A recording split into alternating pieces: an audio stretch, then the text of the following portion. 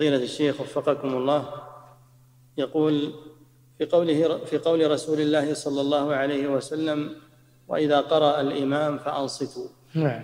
هل في هذا دليل على أن المأموم لا تجب عليه قراءة الفاتحة؟ نعم هذا من الأدلة. هذا في القرآن. وإذا قرئ القرآن فاستمعوا له وأنصتوا لعلكم ترحمون. هذا في القرآن يعني. نعم.